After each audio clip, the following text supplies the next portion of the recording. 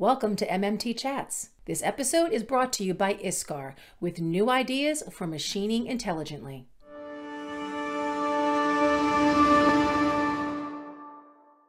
Hey, MMT followers, I'm Christina Fuges with Mold Making Technology, and my guest on today's MMT Chat is Zach Glascock with Action Mold and Machining. And Zach is one of Mold Making Technology's 30 under 30 honorees. So first off, hello, Zach, and congratulations. Hi, thank you, thank you. So I have to start off, I got to ask, how does it feel to not only be nominated, but to get get to be one of the 30 because I actually got a pretty darn good response. So we had to narrow it down and you got yeah. to be one of the 30. Oh, well, Thank you for that. Mm-hmm. Um, hi, Greg. Sorry, Greg just walked in. um, I mean, it's really an honor.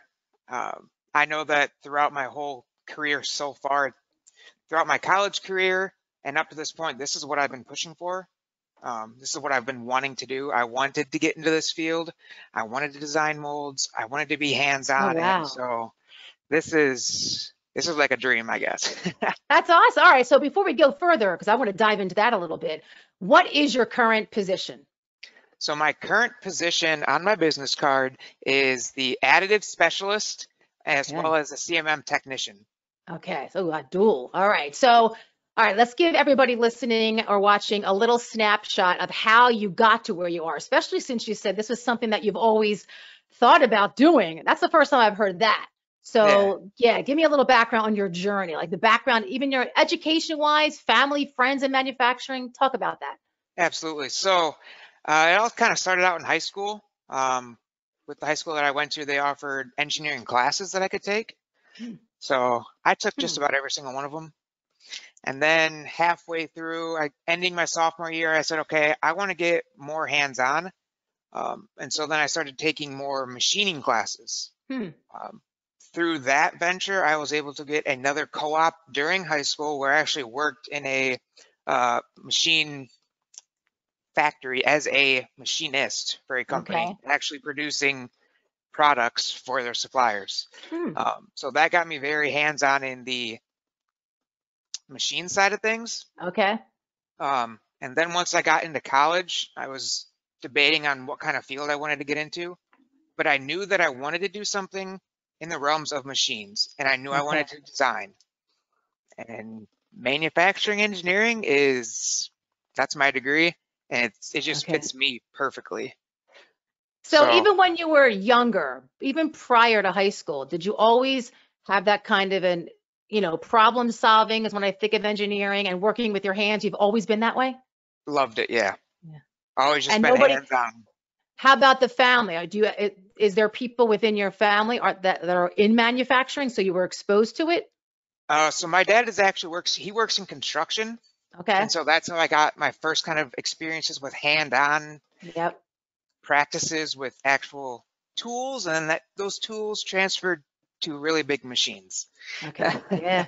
That's awesome. So what's interesting about you too is on your business card, you're the additive specialist. So you're young and additive manufacturing, probably as you've learned, um, it's not something new, but within the realm of mold manufacturing, right?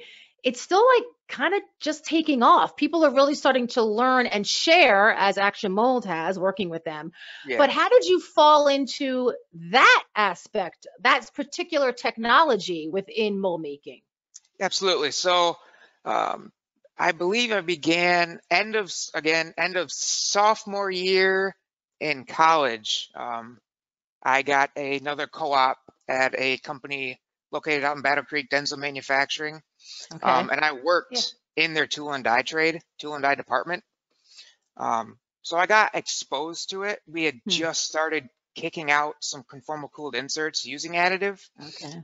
So I kind of got my feet wet just being kind of with that group. Hmm. I didn't do any of the design work, but I was watching and learning, and it uh-huh. really, really interested me. Um, so then when I got to my senior year, I was still with the company, and they offered me a senior design proposal hmm. utilizing additive manufacturing for venting applications in okay. molds, in their tools. Wow. Um, so luckily, with that experience, it was actually my group partnered with Action Mold. So I knew Greg even before I got hired in. I've been working with him. Um, and so that was, that's just kind of how I got my feet wet into the field. So, all right, let's look at what you do on a day-to-day basis. And up into this point, what would you say is your number one challenge? I think my number one challenge is, like you were saying, this is, this technology is so new. Mhm. um, in our field, in our mold making field, uh, that you have to put push through old mindsets of traditional ways. This is how you do it. This is how you cool a tool. This is how you vent a tool. Yeah. Cut and bland. But that's just not the case anymore. You can utilize this technology and it can give you benefits that no other traditional method can. It can allow you to do crazy things like put these crazy geometries inside of a tool for cooling, or in some applications that we've done, we were actually printing porous steels that we can vent through. And there's no other way to do that. Yeah. It's thinking outside the box, which is always intriguing to me because when I think of the average mold builder, it's in them to do what they got to do. Like they're constantly figuring out stuff and they're get they're innovative, right? Their minds work that way. But when it comes to especially additive, there's just kind of like a wall up where they they resort to that traditional way. When I don't think of that this field as traditional in their Yeah. thinking, they're they have to be innovative to find that solution. I mean, it's amazing some of the things that you guys come up with to solve a problem. And additive is just another tool in that toolbox that they should always bring to the table as a possible solution. Not that it's the solution for every job, right? But Yeah. it should always be considered. So it- Absolutely. it's interesting. It's interesting. All right. So, all right. In that same vein, what has been your proudest moment, or would you consider your top accomplishment since you've entered the workforce? Um, so one of the things that I'm most proud of is a project that Greg, uh, my manager, uh, kind of got me involved with. He had this concept of being able to repair broken tools Mhm, with okay. additive. So with that, um, he's a very busy guy. So I kind of just was like, hey, Greg, let me do this. I can figure this out. So I went around our shop, asked a lot of questions, um, got in touch with a few of our mold makers, and I was able to find a part that was being replaced because there was a, a miscut, just something happened and we needed to make a new one. So they were just gonna throw this other one out. So I was like, okay, can I have that? And they said, yeah, take it. We don't need it anymore. So what I did to it is I evaluated it and said, okay, I can use this and take it and let's say repair it.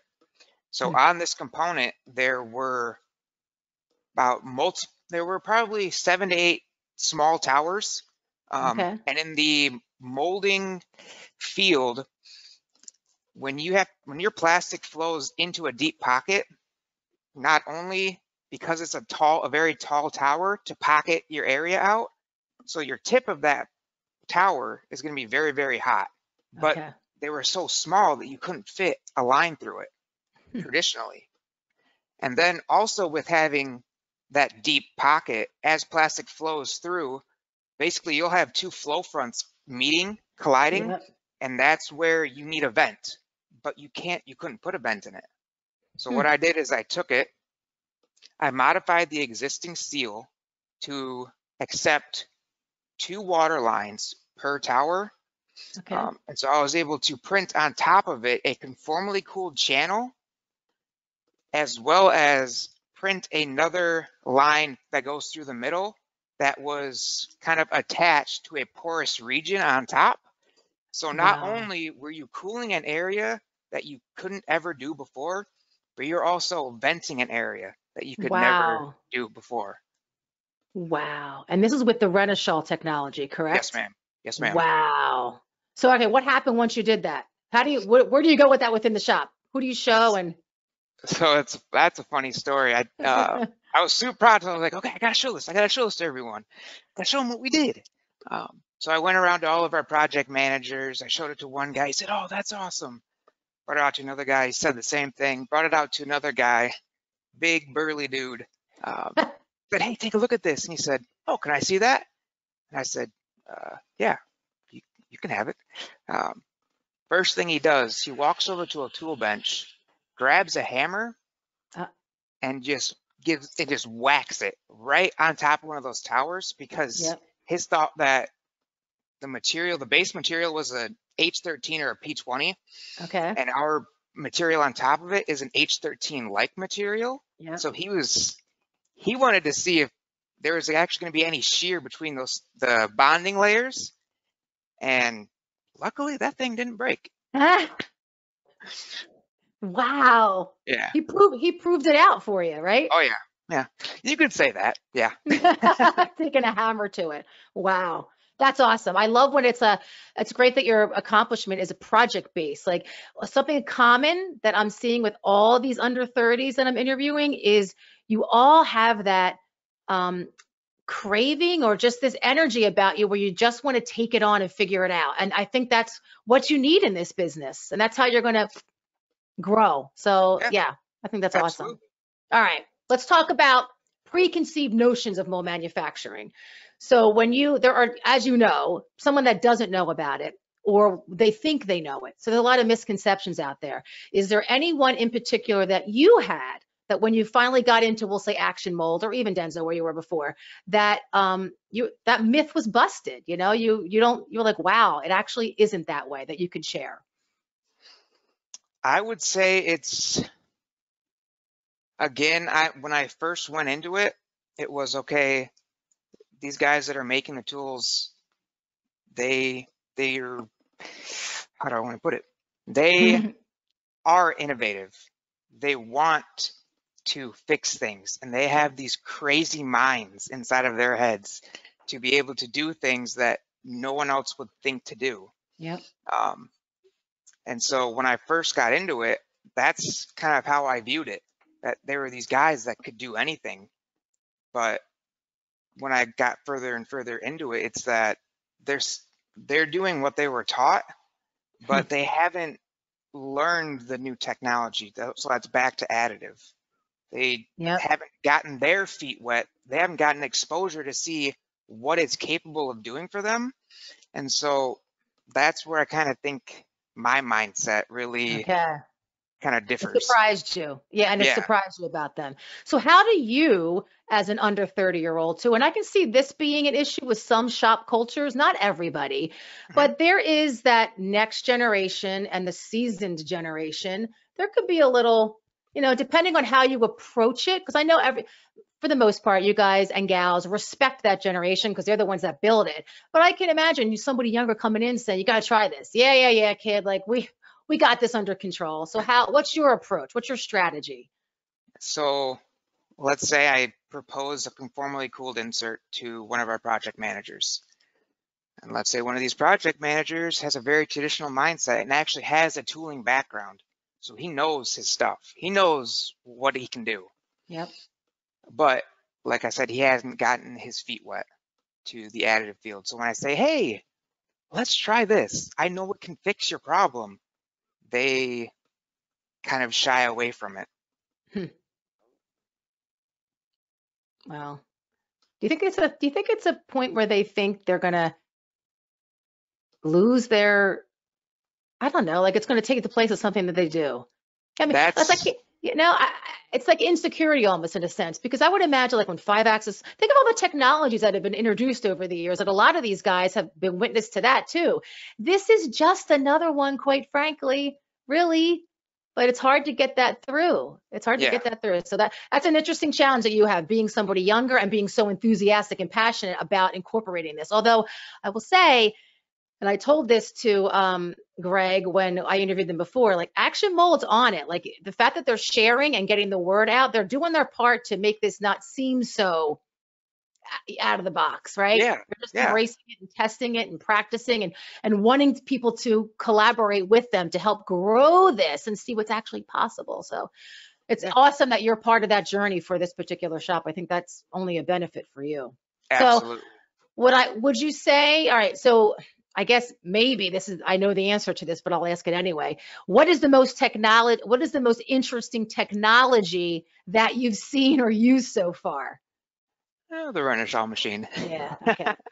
I'm gonna say, because you're, well, you know, let's flip that and go to, because you also have CMM on your title. So what is Yes. it about that side? How do those two go together? You know, and what is it about that side of your job that is interesting?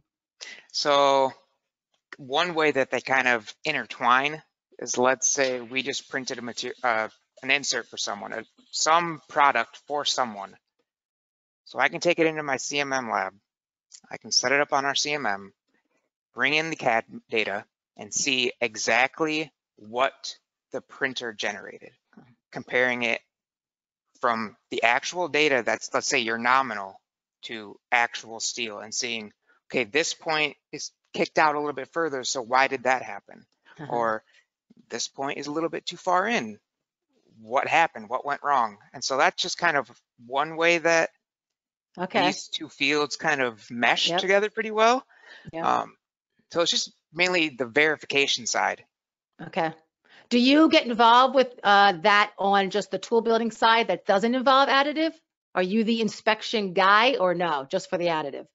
So yeah, if something Okay. needs to be CMM'd in the shop, I've CMM'd countless tools, Okay. countless molds, die Okay. cast, plastic. Um, it's let's say there needs to be a change done to a tool, an ECI, um, engineering change. Yep. And they say, okay, we want to move this boss 20 grand in X. Hmm. So we need to know, okay, where is that steel actually at in the tool? Hmm. Because nothing is perfect. Yep. Things can be moved. Cutter can be dull. So one thing is we take that steel, we measure it and find out exactly where it is. And then, so now we have a starting point. So now we know, okay, we can move it this direction 20 grand. Make sure we know exactly where it's at. And then hmm. once they do t- make that movement, I can take it back and validate it and say, yes, yes, customer, we moved it exactly what you wanted. I love it. Okay. Now they, they seem like they go together to me, so I wanted to get your take on that. All right, so let's let's take a look at the future of manufacturing, the next generation, even beyond you. What do you think has got must has got to change in mold manufacturing to start attracting and retaining that the next generation? I just think it's it's the mindset that needs to change. And it's not that their mindset is bad. It's not bad at all because they know exactly what they're doing.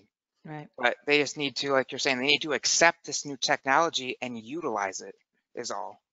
They need to take it and say, oh, well, I can't really get what I need right here, but let's go see if it can be printed. Mhm. So Yeah. Experiment, have fun with it, right? Test it.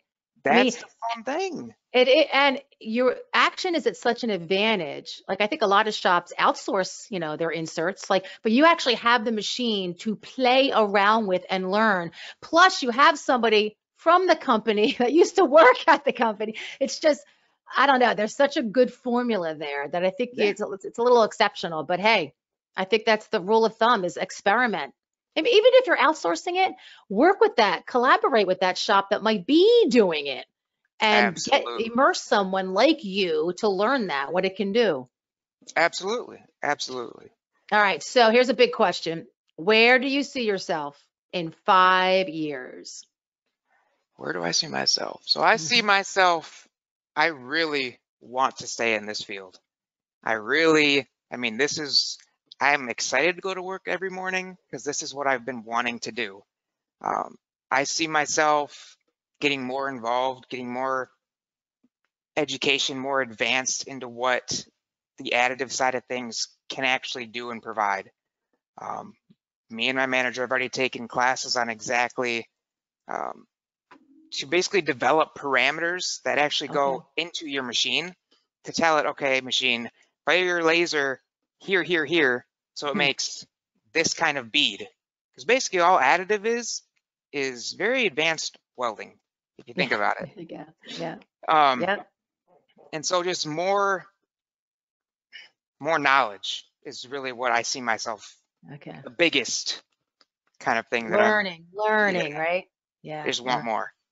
So let me ask you in relation to that with COVID 19, a lot of times, or a way to learn is to get out to trade shows, to get to other shops, go to go to Renishaw to learn about, you know, go to their facility.